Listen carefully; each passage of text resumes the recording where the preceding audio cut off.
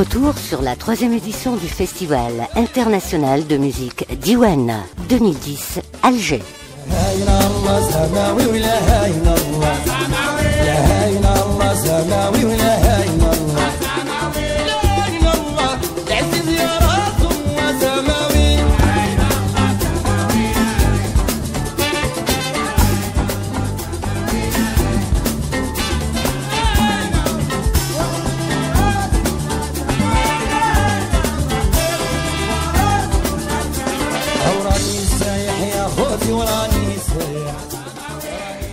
Retour sur les souvenirs euh, du Diwen, troisième édition du Festival international. J'accueille pour revenir sur ce grand événement l'anthropologue, euh, conférencier, metteur en scène Julien Raoult, le tourisme musical, première conférence. Oui, bah, c'était une communication qui était un peu improvisée. Donc j'ai choisi de parler du tourisme musical qui est euh, un sujet sur le j'ai traité dans ma thèse d'anthropologie.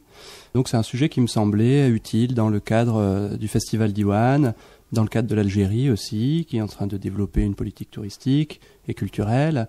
Euh, donc il me semblait intéressant de débattre de ce, de ce sujet avec le, avec le public algérois. Et puis euh, bah, j'étais vraiment euh, pas surpris, j'étais agréablement surpris j'allais dire, mais non, c'était pas une surprise, le public était au rendez-vous. Donc à l'issue de la communication, il y a eu un vrai débat. On a vraiment été au fond des choses, donc j'en suis vraiment satisfait. Quoi. On a, on a abordé plein de sujets, euh, le développement économique à travers le, tour, euh, à travers le tourisme, à travers la musique, mais aussi les imaginaires de l'Afrique. Mhm. Pourquoi les, les, touristes viennent en Afrique, hein, les, les, touristes internationaux notamment, euh, qu'est-ce qui les attire sur le continent? Pourquoi ils sont attirés aujourd'hui par la musique? Mhm. des choses comme ça. Voilà, cette transformation des imaginaires. Ils ne veulent plus seulement aller à la plage, bronzer idiots. Mhm. ils, veulent véritablement euh, partager la vie des gens et la musique est une, une bonne médiation pour rencontrer les gens. Donc on a parlé de ça, on s'est interrogé un petit peu avec le public sur ces imaginaires et puis sur les perspectives de développement et puis on a parlé aussi du festival. C'était vraiment un, un bel mhm. échange. Quoi.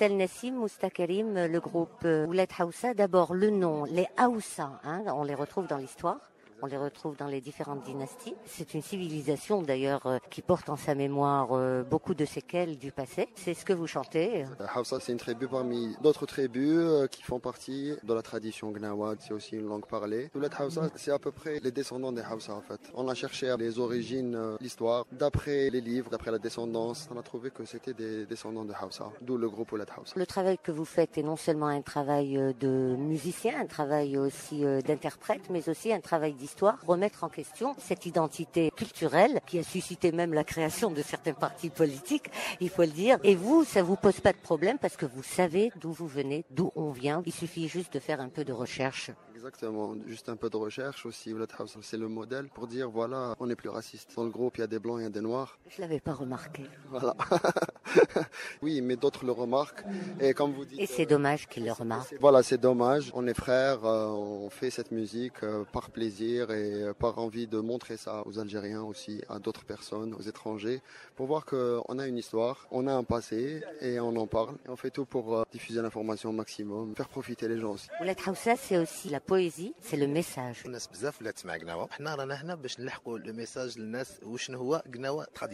Et aussi une symbiose avec le public dans le rythme, dans les paroles. Effectivement, le, rythme et les paroles, beaucoup de scientifiques et de chercheurs, ils ont trouvé que c'est un rythme qui sert à une thérapie déjà. Donc euh, quelques, quelques gens l'utilisent comme thérapie. C'est très spirituel, très profond. À travers les textes qui vont rappeler l'époque de l'esclavage, l'époque du peuple noir qui a été déporté. C'est en fait une musique qui raconte une histoire c'est un récit, il faut se mettre dans le personnage pour apprécier. Voilà. C'est une musique qui raconte l'histoire au travers d'une histoire. Très beau jeu de mots.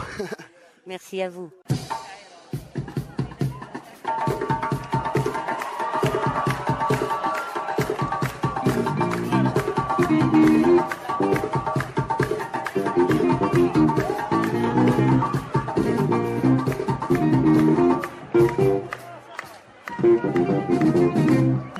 Mes frères algériens.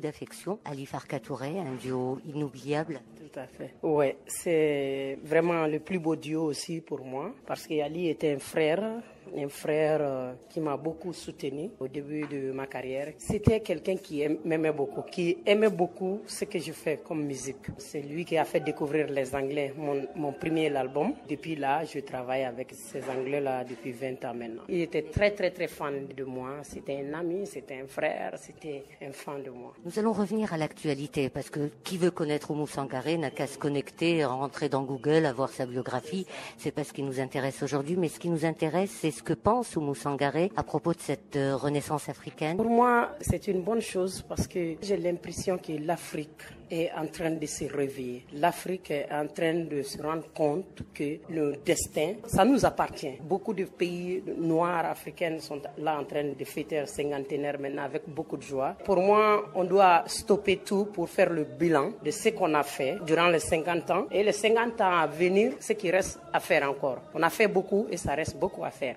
J'ai toujours dit que je suis très optimiste. L'Afrique est le continent de l'avenir. Nos sous-sols sont extrêmement riches. Il suffit que nos dirigeants prennent un peu de conscience seulement et que les Africains même s'y mettent à travailler. J'ai toujours dit que les jours que l'Afrique va se réveiller, c'est le monde entier qui va le sentir parce qu'on est extrêmement riche sur tous les plans. Culturellement, sous-sol, l'Afrique est riche. Voilà, donc euh, on a de l'avenir. C'est à nous maintenant de croire, de travailler. C'est à nos dirigeants d'être conscients d'être sûr de l'Afrique même, quoi. Au travers du répertoire que vous avez, au Moussangaré, il y a des chansons, certes, qui nous racontent un peu l'Afrique, qui nous racontent le Mali, mais il y en a d'autres où on ressent le poids du verbe, la magie du verbe, l'utilisation du verbe. Oumou Sangaré fait partie de ce groupe de personnes qui préservent la valeur des mots. Mais ce qui est bon à savoir est que Oumou n'est pas Djedi. Je ne suis pas griotte, je suis noble, je suis né artiste parce que je suis né dans une famille d'artistes. Mais ce que vous venez de dire est très important. Dans notre culture, dans notre société, le rôle de Djeli est très important. C'est des maîtres de parole, c'est des bibliothèques, comme on dit chez nous, c'est des gardiens de la tradition. Donc, euh, c'est hyper important leur rôle dans notre société. Parce que avant l'écriture, c'était eux notre bibliothèque, c'est eux qui transmettaient de père en fils. Par exemple, les djeli de notre famille, avant l'arrivage des colons, le vieux djeli transmet à son fils. C'est un exemple. Hein. Le griot de mon papa va transmettre mon histoire à son fils. Et son fils sera le griot de mon fils. Et ainsi de suite. Ils vont transmettre de père en fils l'histoire d'une famille. Donc c'est ça qui fait que l'histoire ne se perd pas. L'histoire est là. C'est comme une bibliothèque. Ils sont très importants. Et puis chez nous, un noble ne demande pas la main d'une fille à mariage. Tu vois une fille, si ça te plaît, tu es un noble, tu envoies ton griot. Et le griot, il va demander la main. Pourquoi on met le griot intermédiaire là, c'est parce que non seulement c'est des gardiens de la mémoire, et aussi c'est des gens qui sont prêts à encaisser tous les mots sales qui viennent, par exemple, la sagesse. C'est-à-dire, moi, si j'envoie mon griot pour aller demander la main de quelqu'un, et que ses parents refusent, mon griot il vient, même s'ils ils ont utilisé des mots sales, mon griot il nettoie ça, il dit bon, et vous savez, la fille était déjà demandée. Leur rôle dans la société, c'est de créer la paix entre les nobles. Donc ils ont un rôle très très très important. On les respecte beaucoup. Moussangare, il est vrai que nous sommes une société de tradition orale. Hein nous transmettons notre mémoire par la parole. C'est un peu pour cela que les autres en ont profité pour écrire notre histoire. Aujourd'hui, ce sont nous qui écrivons en Afrique notre histoire. Donc de la parole vers l'écriture, ça ne veut pas dire qu'on n'avait pas d'écriture. On a des idéogrammes, qu'ils soient bambara d'un autre ordre, des hiéroglyphes, puisque l'Égypte aussi fait partie du continent. Il est temps aussi que nos historiens, nos anthropologues du continent écrivent l'histoire avec un regard et un cœur africain. Oui, et certains ont déjà commencé, mais ils doivent s'y mettre parce que nous sommes un continent qui a beaucoup souffert. Donc, euh, il est temps que l'Afrique même se rende compte, qu'on se réveille, qu'on essaye de redonner le vrai image de l'Afrique qui a été très longtemps caché. Donc euh, les écrivains, les historiens doivent s'y mettre. Ils le font, mais ils doivent s'y mettre beaucoup. Ils doivent mieux présenter l'Afrique, montrer le visage caché de l'Afrique. Voilà. Merci beaucoup, Moussangaré. On va écouter un extrait de votre soirée. À tout à l'heure.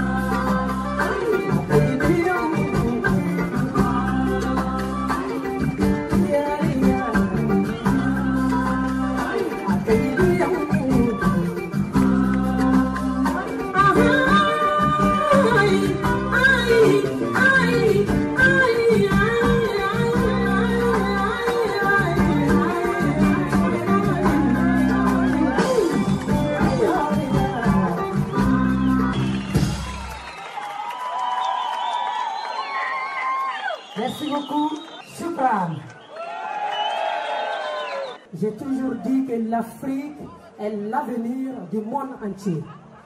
Nous sommes très riches. Quand on dit que nous sommes pauvres, moi ou j'ai toujours dit non. Nous sommes très très très riches.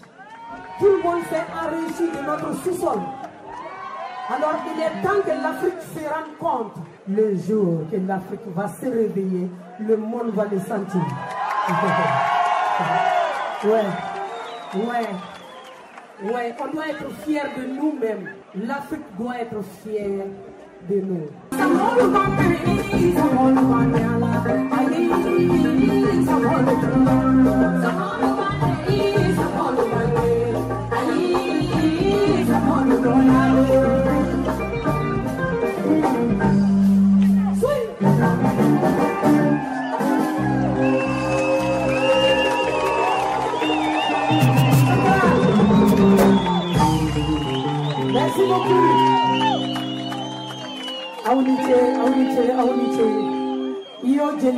Bravo. Shukran, shukran. Merci beaucoup. Merci, merci. Thank you very, very much. Yo Jelly.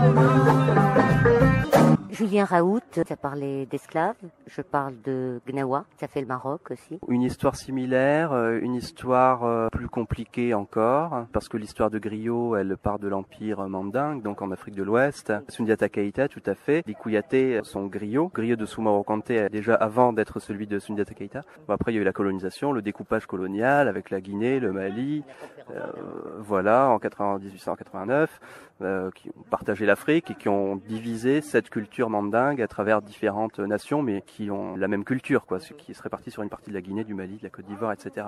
Donc on reste assez localisé. Et avec les Gnawa, donc c'est une histoire plus complexe, vu que ces Gnawa, c'est pas moi qui vais vous l'apprendre, hein, mais sont partis de, donc d'Afrique subsaharienne, et puis donc sont remontés avec soit par la mer jusqu'à Essaouira, ou soit par le désert jusqu'en Algérie ou jusqu'à Casablanca, etc. Et donc là, l'histoire des Gnawa est encore plus finalement. Et c'est ça, je pense, qui fait aussi la, beauté et tout le mystère de la musique gnawa, c'est que euh, tous les plus grands chercheurs qui se sont penchés sur leurs origines euh, ne peuvent pas affirmer avec certitude vraiment quelle est l'histoire, l'origine des Gnawa, qu'est-ce qu'ils ont amené d'Afrique avec eux jusqu'au Maghreb. Ça reste très mystérieux. Et ce qui est passionnant avec les Gnawa, c'est que tout est fait un peu avec des bouts de ficelle, avec de la récupération, avec de l'adaptation, avec du syncrétisme. Donc voilà, c'est comment on fabrique une culture avec différents petits éléments. C'est du bricolage identitaire, on peut appeler ça sans être péjoratif du tout, parce qu'ils ont créé un théâtre cosmique qui est la lila, la cérémonie, etc., qui est magnifique. Mais tout ça avec de la récupération, avec un peu de soufisme, un peu de culture africaine, avec l'islam bien sûr. Et je pense que ça peut nous apporter beaucoup dans notre période de mondialisation, où on a accès un peu à beaucoup de cultures, mais où il y a un brouillage des repères identitaires. Personne ne sait vraiment qui il est. Tout le monde parle plusieurs langues, mais finalement, on ne sait plus trop qui on est, etc. Et les Gnawa, c'est un exemple de, création d'une culture forte et belle à partir de différents éléments. La culture comme une boîte à outils, un peu, pour construire quelque chose d'intéressant, etc. Moi, ce que j'ai essayé de montrer, et à travers un ouvrage aussi des, cahiers d'études africaines que j'ai dirigé, où il y a 23 articles sur le tourisme culturel en Afrique, de l'Afrique du Sud au Maghreb, un peu partout sur l'Afrique. Euh, et ce qu'on a remarqué, c'est qu'il y avait véritablement une transformation des pratiques touristiques. Donc à la fois il y a une transformation de la manière dont nous, chercheurs, on voit les touristes, mais il y a aussi réellement une transformation des pratiques touristiques. Aujourd'hui, on n'a plus le, touriste roi qui vient dépenser ses devises et profiter d'un confort dans le tiers-monde. On n'est plus vraiment dans cette logique-là, même si ça reste un petit peu. Aujourd'hui, on a une forme de tourisme qui est un tourisme où on met en avant la rencontre humaine. C'est ça qui est recherché véritablement par le touriste. C'est la rencontre avec les locaux par différents biais, par différentes médiations. Ça peut être la musique, ça peut être une religion. Euh, beaucoup de touristes qui partent s'initier au vaudou par exemple un article sur ce thème-là dans ouais, au Bénin, au Gabon, etc. Il y a le tourisme des Afro-Américains aussi qui partent rechercher leurs racines en Afrique, etc. Les stages de percussion. Ça, c'est le sujet de ma thèse autour des stages de percussion en Guinée et du djembé et de la danse traditionnelle d'Afrique de l'Ouest, donc qui est pratiquée partout à travers le monde, du Japon aux États-Unis. Et donc, on a ce tourisme des gens qui viennent à la source. Et donc, on a analysé ça euh, en parlant de conversion, de conversion identitaire des touristes, de conversion à l'africanité. Donc, c'est un des points communs, à mon avis, euh, du tourisme d'aujourd'hui Conversion, forme d'assimilation Comme une conversion religieuse. Une forme d'assimilation Une forme d'assimilation de la culture de l'autre. Donc le touriste aujourd'hui, il veut pas venir simplement regarder des paysages, observer, etc. Il veut devenir l'autre. Il veut s'imprégner de l'autre. Pourquoi? À mon avis, parce que justement, il est en perte de repère, notamment le touriste occidental, qui veut euh, se mettre à la place de l'autre. Alors, il voit beaucoup de films documentaires, il voit beaucoup de choses sur l'Afrique, etc. Fait des rastas. Par exemple. Alors ça, c'est un type de conversion identitaire, tout à fait. Se, faire des rastas, c'est euh, extérioriser ce désir de, de conversion par des détails ethnographiques comme ça, des observations ethnographiques qu'on a essayé de décortiquer ce phénomène de conversion à l'africanité, on a appelé ça comme ça, du tourisme, euh, qui est euh, assez euh, révolutionnaire par rapport à la manière dont on considérait le tourisme auparavant. Pourquoi parle-t-on par exemple d'exploration de l'Afrique, de la découverte de l'Amérique, mais le résultat est le même en fait? Ouais, sauf qu'il y a eu peut-être eu un choc, parce que l'Afrique, ça fait un moment quand même qu'il y a des explorateurs portugais depuis des centaines d'années. Ce qui est intéressant, c'est que effectivement, c'est toujours un peu pour les touristes, en tout cas, c'est une terre d'aventure. Ça, c'est ça, c'est sûr et certain. Mais ça fait partie du mythe africain, je La deuxième et une partie de la troisième journée. Juju, on y va.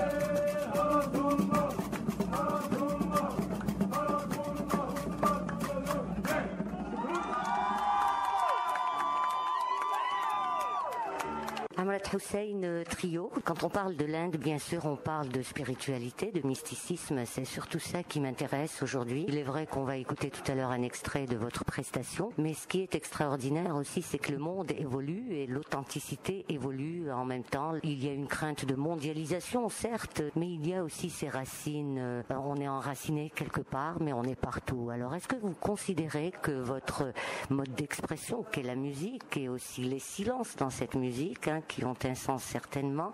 Est-ce que vous considérez que, au-delà du langage, ce serait aussi un infralangage, une communication et aussi une communion avec votre public et le reste du monde? C'est une bonne question. Oui, c'est clair.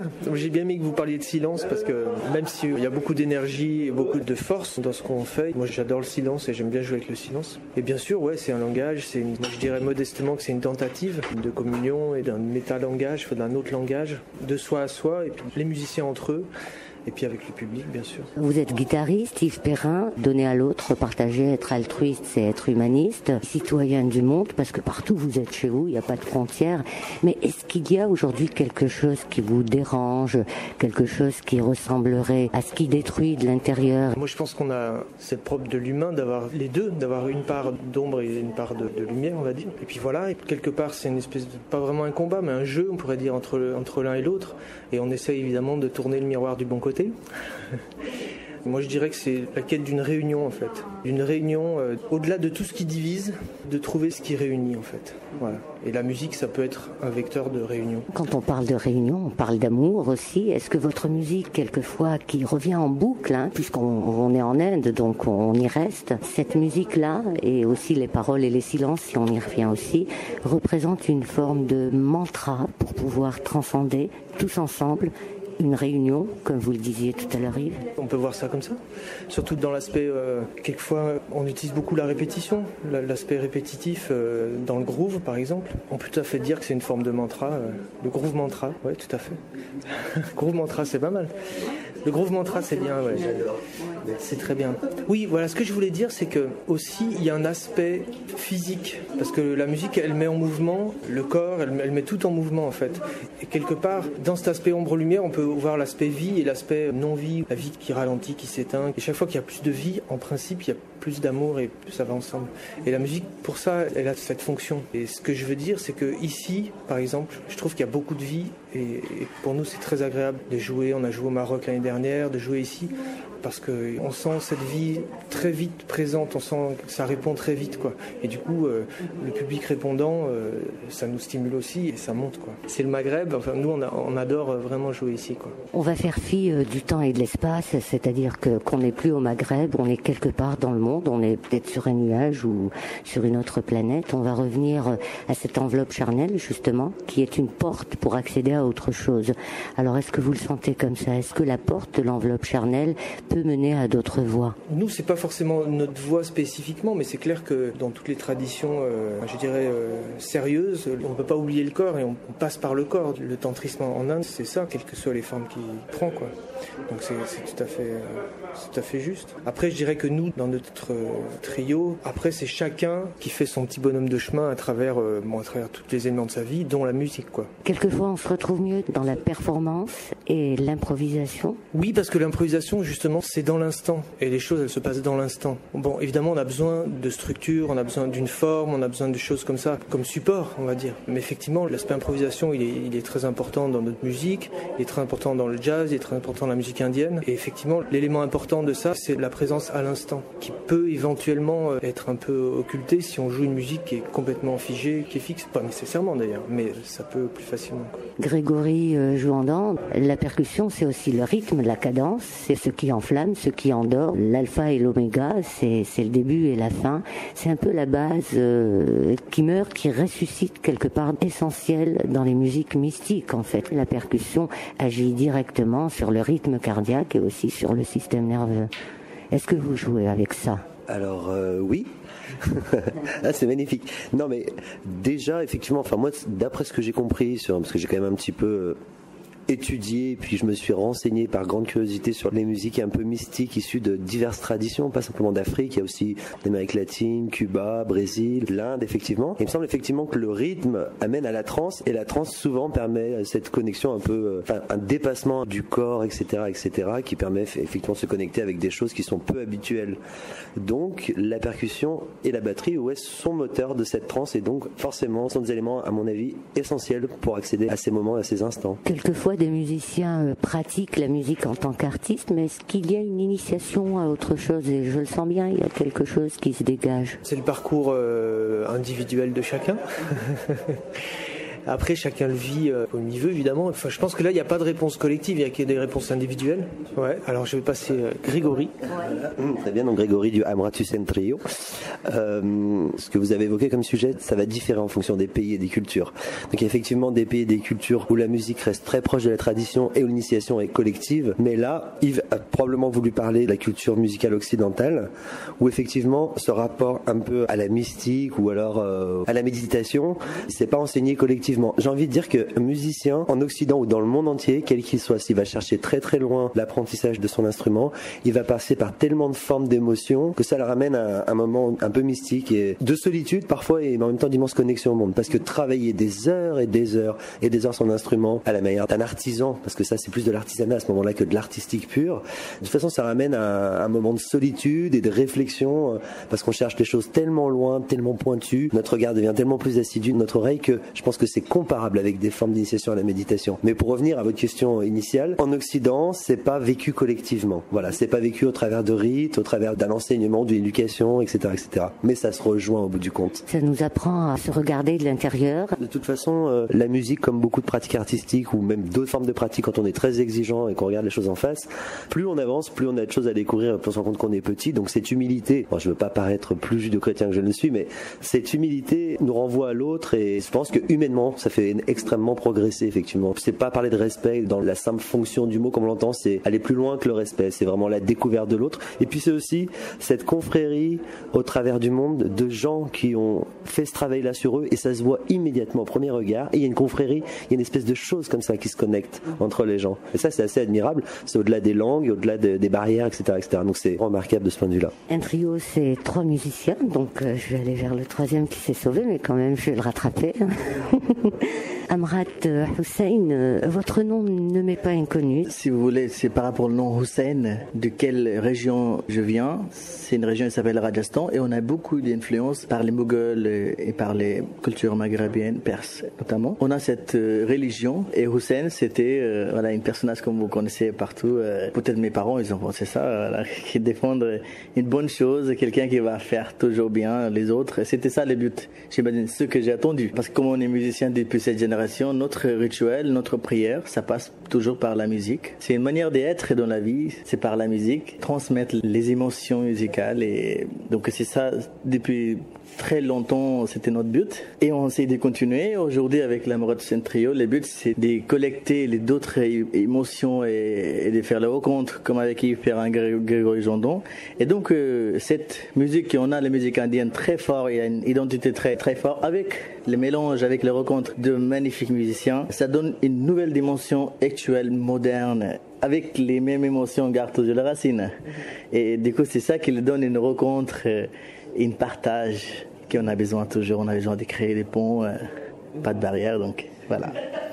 Accéder au monde de la musique, c'est aussi accéder à une forme d'éternité. Mon prénom, c'est Amret. Et Amret, ça veut dire liquide de l'immortalité. Donc voilà, ça, ça correspond tout à fait avec votre question.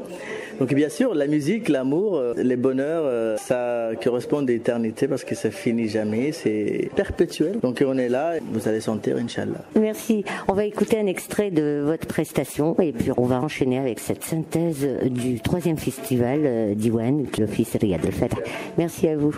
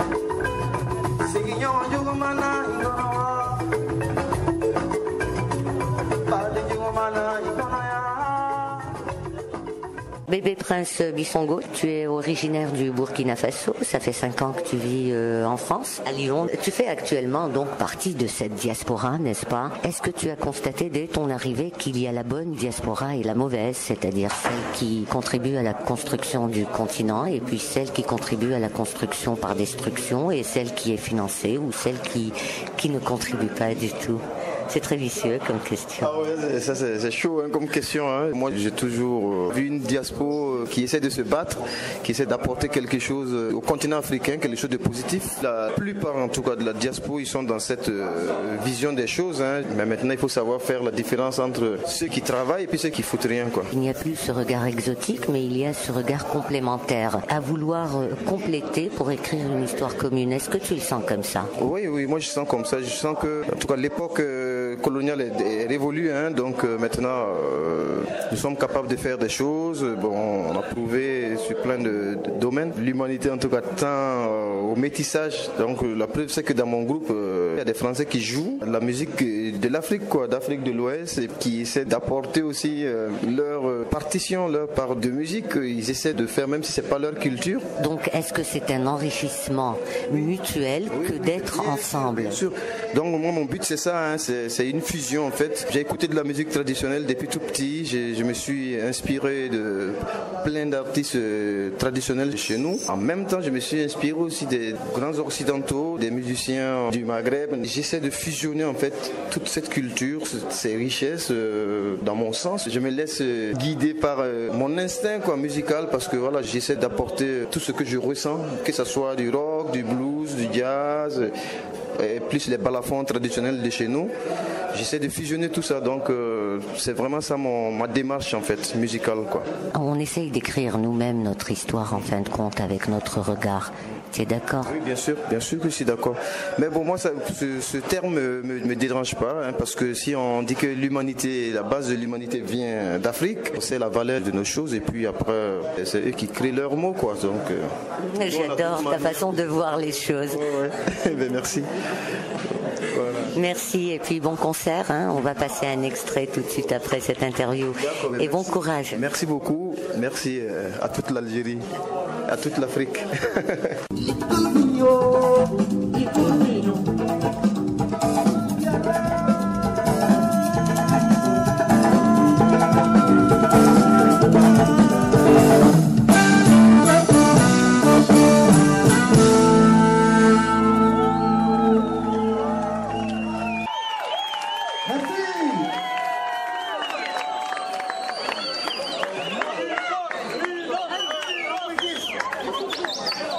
Tu as remarqué, euh, Julien Raoult, à chaque fois que je rencontre un voisin du continent, je lui pose la question en ce qui concerne l'écriture, parce que on est tellement cette société euh, de tradition orale que j'insiste sur l'écriture euh, autant que toi. Hein. Toi, tu écris, tu écris, tu laisses des traces écrites, mais Bébé Prince Bissango aussi, t'as as beaucoup touché par sa démarche et aussi par sa philosophie des choses. Hein. Oui, tout à fait. C'est un musicien qui est bien représentatif en fait de la de la nouvelle génération des des musiciens africains qui sont à la fois ancrés dans leur tradition et en même temps qui sont euh, complètement ouverts sur les musiques euh, actuelles, comme on dit, et sur les musiques du monde.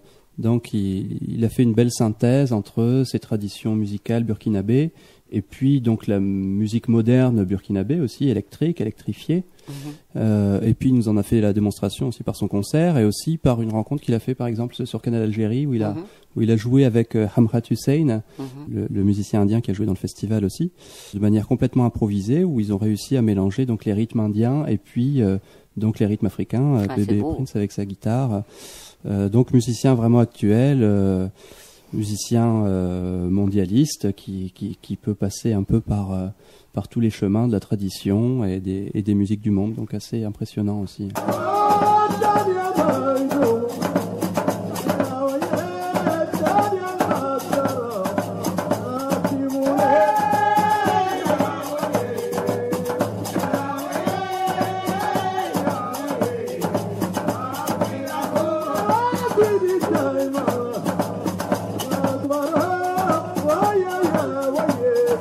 des génies de Pierre et Malika Guichenet, quel est votre angle d'attaque D'abord, à propos du bal de génie, c'est un film qui date de 98, c'est le début de notre collaboration avec Malika. On ne s'est pas énormément préoccupé de l'image. Bien sûr, on voulait une image belle, on va dire, comme ça, tout bêtement. Et surtout une manière de filmer, on a pris les choses une par une, disons sans idéologie, une manière de filmer euh, qui ne dérange pas euh, la cérémonie euh, centrale, parce que le, notre film est sur un bal des génies, donc une lila, une hadra gnawiya, dans la région de Marrakech, avec des gens qu'on connaissait très très bien d'ailleurs et depuis longtemps. Notre but, ça a été de ne pas troubler ce qui se passait pour pouvoir justement être le plus proche possible et le filmer le mieux possible. Donc c'était plus traduire un hal. Je pense qu'ici on peut comprendre. Un petit peu compliqué à expliquer à des Français, mais je suis sûr qu'à des Algériens, des Marocains, ça parle tout de suite. Donc c'était c'était ça notre but. Et bien sûr, euh, est sorti de cela une esthétique, mais qui était liée à, un processus, à une manière de, travailler. Je reprends le terme esthétique parce qu'au fur et à mesure que vous parliez, c'était l'esthétique hein, que je voyais dans tout ça. La caméra ne doit pas déranger l'autre, mais elle doit rapporter quelque chose.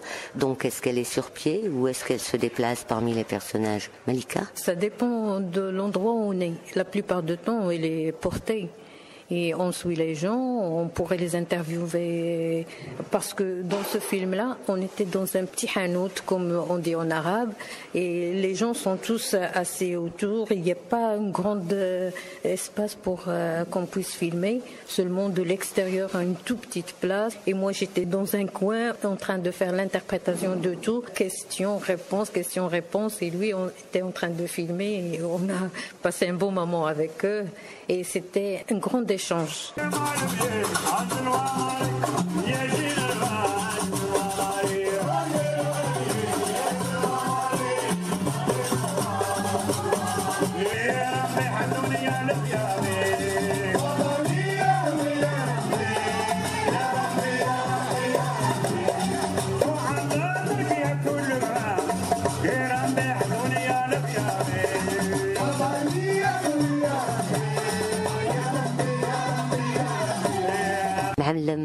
Mustafa Bakbou du Maroc, vous ne vivez que pendant le spectacle, que pendant cet instant. هذه انا اذا ما ما تبعوني الناس اذا ما عرفتش اذا ما حسيتش بهذاك الشيء اللي تندير انا ما نقدرش نعطي انا ولا الدراري ديالنا خصنا نكونوا حاسين بهذاك الشيء تيطربني انا عاد تنقول راه الناس تطربهم Intérieurement, qu'est-ce que ça vous apporte Est-ce que ça vous rend plus fort intérieurement بزاف كاع بزاف كاع انا حتى نشوف الناس حاني تنعاود نزيد قوه كثير انا لا في الجوج ولا في الغن ولا في بحال ولادك بحال كل شيء الا ما عطيتيهمش هذه الا ما خرجتيهم تيبقى فيهم comme sur scène. C'est la même chose. La, la scène, c'est le reflet de sa vie. Ce qu'on dit sur Barbeau, en dehors de l'aspect musical, que c'est un grand معلم ولا شيء اش تيقولوا الناس على بربو تيقولوا c'est un mec bien الله يعمر دار c'est un mec ça, ça fait partie de la culture, de sa culture.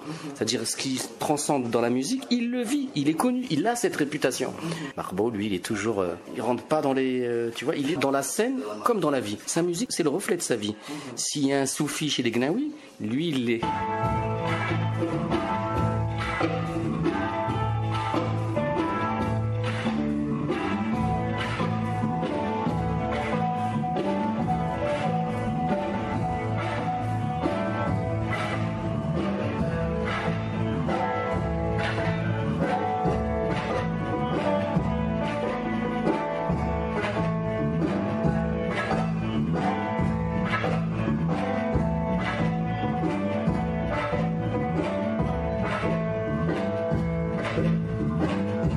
Vous êtes donc euh, bassiste dans le groupe Tinariwen, le groupe Tinariwen qui existe depuis un certain nombre d'années, qui a traversé les frontières et qui a porté tout haut la parole en tamashek, n'est-ce pas? Ouais, ouais, un groupe Touareg du Mali qui existe depuis 30 ans. Donc on a commencé à tourner en Europe. Dites-moi, euh, Yadou, est-ce que faire des tournées en Europe, c'est se faire connaître plus, c'est-à-dire être reconnu? Pas connu, mais reconnu quelque part Oui, bien sûr, parce que quand tu voyages, tu dois rencontrer des gens différents, différentes cultures, différentes populations.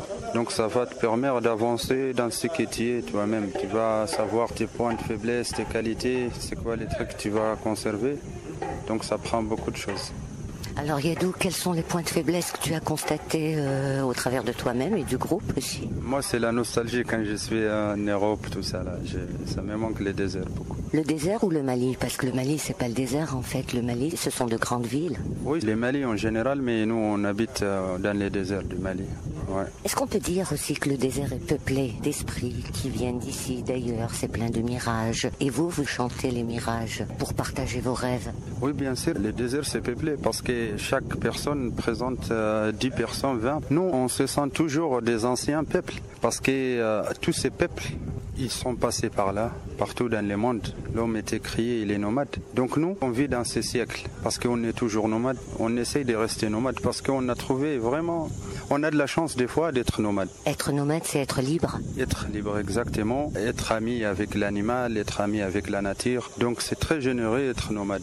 Ton rapport direct avec la nature. Moi, la nature, euh, c'est quelque chose que je porte avec moi chaque jour, quelque chose qui me manque. Donc quand je suis dans la nature, je suis complètement là-dedans. Parce que c'est tellement calme, tellement d'esprit dans la nature, tellement d'imaginer les choses. C'est un mode de vie très très spécial. Voilà, je suis là sur la planète, qu'est-ce que je dois faire pour tout ça? Sont des questions d'ordre existentiel. Oui, oui, bien sûr, parce que presque tous les instruments que les gens utilisent pour chanter, ça vient de la nature. Tout ce qui se passe comme esprit, c'est inspiré par la nature. Chacun, il est dans son monde, mais les principes, c'est qu'on est presque dans les mêmes assiettes, tous les groupes, les mêmes esprits un peu, les mêmes euh, envies de faire les choses aujourd'hui, comme on, on aide à avancer les choses, même malgré nous sommes en retard. Par rapport à qui Le retard par rapport au temps Au monde et la modernisation. Vous pensez qu'ils sont en avance Pour moi, ils sont en retard. Et on est en avance parce que quand tu n'as rien, tu consommes rien. Tout à fait. Merci beaucoup.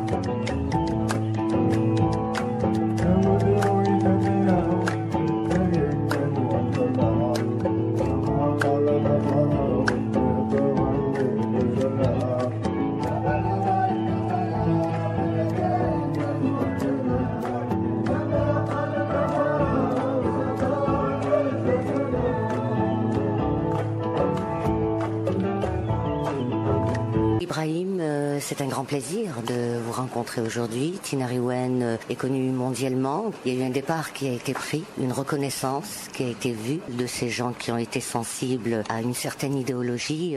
Et la meilleure des idéologies d'ailleurs, c'est celle de la musique et du partage. Donc aujourd'hui, vous êtes parmi nous, vous allez chanter en tamashek et c'est aussi notre langue ancestrale. Donc il y a ce partage et ce retour aux sources. Ouais, ouais, c'est ça. Il y a شون دون دغاهيت إن الاستفهام شون دسم أس هر أنا قال دغا تيد التصوني شون دو وترن تصوني دغا دغا العالم وانها وريص لي السي ولا تماشق ولا السي ولا هكرت هر أنا قال شون شون الشغل يقال أنا ديرهان. أن موقس ددينا تجوتنا مع النوزان العالم وهضن باسكي نقن يضدينا يهامش كل نقن يض نرجعش دخل لأن العالم ننخشون ددينتنا وسارنا تصون تددينا في هضنا شون إبراهيم يادي dès le départ que notre but, c'est ce partage, partager avec tout le monde entier. Malgré notre population, il est très minorée. Elle est un peu isolée dans les déserts parce qu'il n'y a pas beaucoup de gens qui vivent là-bas. C'est pas tout, tout près pour euh, se connecter. Mais nous, on essaye de faire les liens avec euh, l'un et l'autre, de partager des bonnes idées pour euh, avoir une vie normale. Vous ne tendez pas la main pour prendre, mais vous la tendez pour donner. Voilà, voilà, c'est ça. Hum, ça veut dire, on est prêt à يا نوزان دغ مي نكبا أوان لا كان يضي انت ترداغ دغ تظن غاس دغ دين تو هضني شون دام. باسكو أنا كان توجور عفرنا زنس جام أنا كان ضاو السار أنا مي ورن هي اجين ميغ ورن زي اجين ودغ دغ شون هكذا وين غيس وران جاهرة دغ وارغ أنا نروح كلتير أنا مي مين يمين رهاد سرتي للعالم تحضت notre culture d'abord parce qu'elle est riche et on sait qu'il y a beaucoup de gens qui un autre truc. Nous aussi, ça nous fait apprendre pour raconter chez nous ce qu'on a vu. Ibrahim, euh, votre vision du monde, de l'humanité Bon, هرت وين هي ورا شون دكور سمك وين هي هم شي داغا سهرتي شون دا هناي شون دا هناي واني نميغين ننغبو ميغرد ميغين كالتماشا جوضا هناي ينفع ينفع ننات مضري تانا نغي ينفع توماس ننا كود ورنا هي غرد ميغين هي باسكي كان يضا ادينا توصاني كود هي هرت ميغين هي تانيا سافي دير شون دين هي انت غرد هرت وين دغس يا هرت ولا Ce qu'on voit, nous, c'est quelque chose qui va nous servir à notre population, surtout la génération qui arrive derrière. Donc, on voit la vie aujourd'hui, comment se passe, l'équilibre, et on raconte qu'il ne faut pas faire certaines choses parce qu'on voit des choses qui sont beaucoup euh, avancées, qui ne sont pas très très utiles. Donc pour toutes les générations, dans tous les mondes entiers, s'ils font pire, ça va être pire. D'accord, merci beaucoup Ibrahim. merci. merci.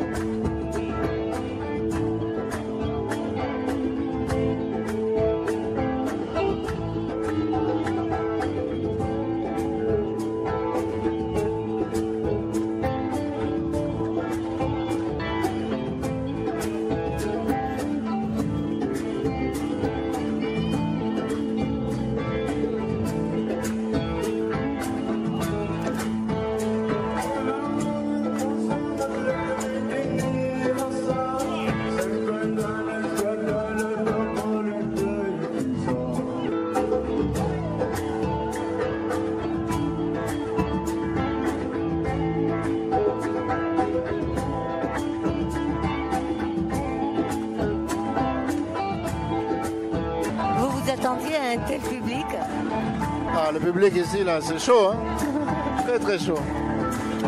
C'est vraiment bien de voir tout le monde danser comme ça.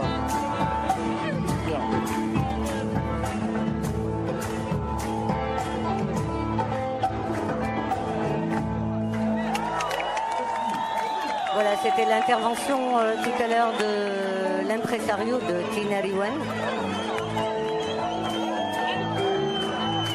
Ouaskali, quand on est issu de plusieurs cultures, c'est-à-dire euh, la culture euh, Wolof, la culture mandingue et aussi le brassage de toutes ces cultures, qu'elles soient d'Europe, qu'elles soient d'ailleurs, il y a certainement de la fusion dans ce qu'on crée, dans ce qu'on produit. Ça c'est très sûr, vous avez tout dit. Je suis d'une culture euh, Wolof du nord et Mandingue Mankan du sud. Je vis en France depuis presque dix ans. Ça fait que ça influence ce que je fais. Donc je fais toujours une musique avec beaucoup de fusion. Donc voilà, donc vous avez parfaitement dit des choses.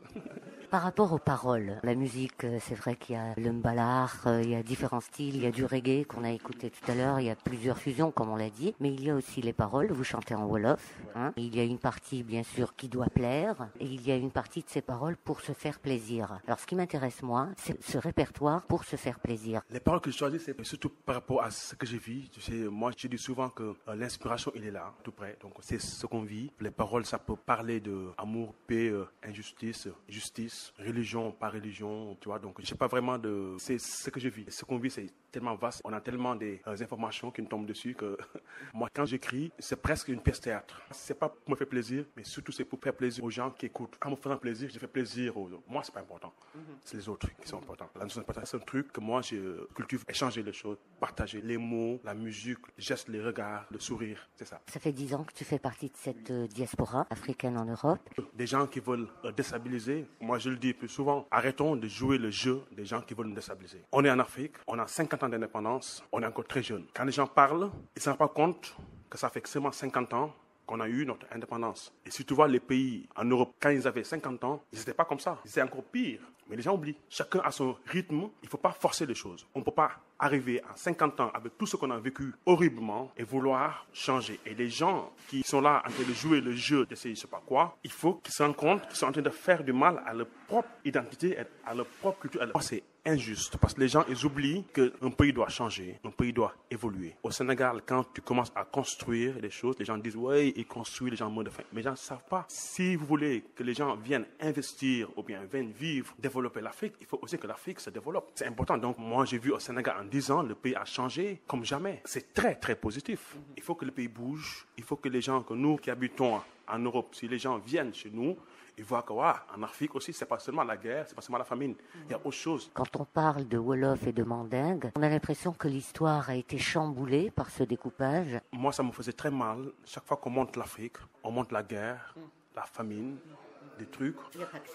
Et il n'y a pas que ça. Si tu, regardes, c'est des petites régions. C'est comme tu viens en France, tu prends une partie de France qui n'est pas bien, tu dis toute la France est comme ça. Tout ça, c'est le jeu de ces gens qui veulent pas qu'on avance. Tous les mots qu'on dit sur toi, tous les mauvais mots qu'on dit, tous les insultes qu'on dit sur toi, moi, Kali, toujours, j'aurai un grand respect pour toi. Parce que les gens oublient, les Africains, on a vécu des choses que si un peuple avait vécu, il n'aurait pas résisté. Mais nous, on est debout. Et il faut qu'ils viennent parce qu'on est en train de bouger. L'Afrique, ça bouge. Algérie, ça bouge magnifiquement bien. Magnifiquement bien. S'il y a des problèmes, c'est des problèmes. Dans tous les pays du monde, il y a des problèmes. En France, il y a des Corses qui sont là-bas. Mais les gens ne parlent pas. Donc nous, s'il y a un petit truc, les gens vont parler, ouais, l'Afrique. Mais oh, l'Afrique, c'est un continent, c'est la mère du monde. Et moi, j'ai confiance en mon continent à 200%. Et moi, je suis un citoyen africain africain du Sénégal. Il faut qu'on pense à dire un Algérien peut venir d'Algérie, peut venir vivre au Sénégal comme il veut. Il faut que les gens commencent à réfléchir qu'on n'est pas Sénégalais ou bien des Maliens ou bien des Algériens ou bien des Marocains. On est citoyen africain, mais les choses ont fait qu'on vit au Sénégal, tu vois, tu vis en Algérie, mais il faut qu'on pense comme ça. Briser les frontières, mais c'est dans la tête d'abord. Après, ce sera plus facile. Voilà. Merci Ouaskali. Mesdames, Mesdemoiselles, Messieurs, bonsoir. Il est chanteur, guitariste, auteur, compositeur, Voz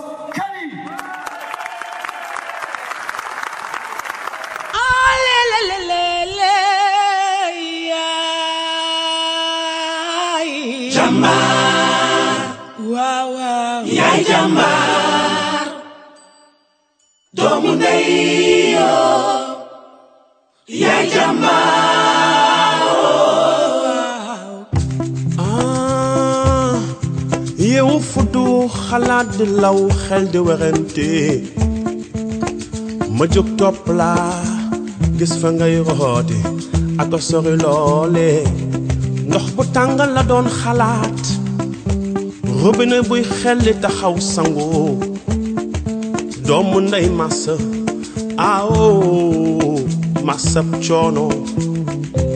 Lu ñu war a dox wuti ndox bu ñu noddee lanu jógoo.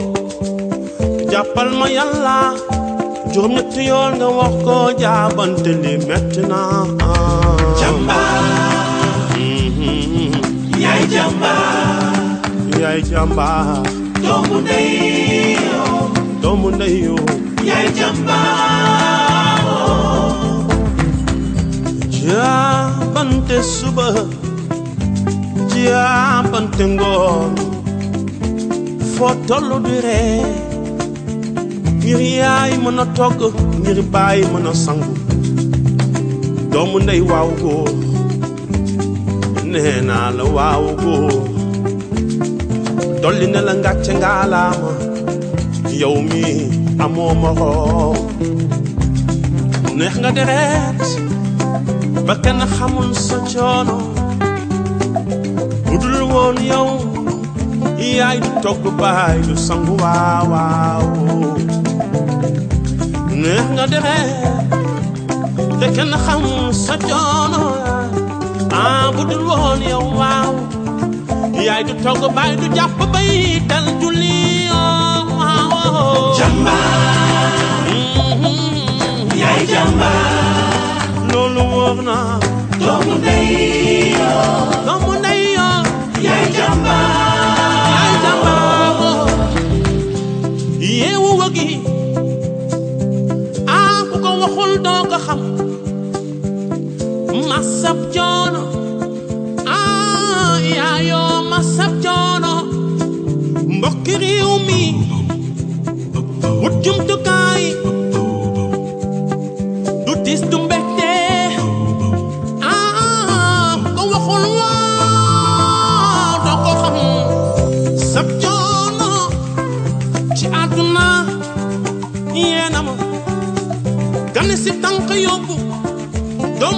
doomu ndey fas yéene naa jox ma loxo waaw waaw ñu jàppoo jambar xaw sa coono teggee yaay jambar bés ni ki tey. Doomu ndey. Yëg naa mandi yaay jàmbaar. Tey naa que xale yaa ngi tasaare xam-xam. Xam-xam yaa ngay wasaare mën-mën. Lii ñun la war bëgg-bëgg ak sama yéene. Jàmbaar. Bay lu war jaar. Yaay jàmbaar. Ah waaw yaay jàmbaar. Yaay jàmbaar. Ngir mar randu. Xiif xeer xam-xam jege si. Dinaa yeewu root si biiru fenk naa. Doomu ndey waaw yeewu root di xeer جمع وسكاليكم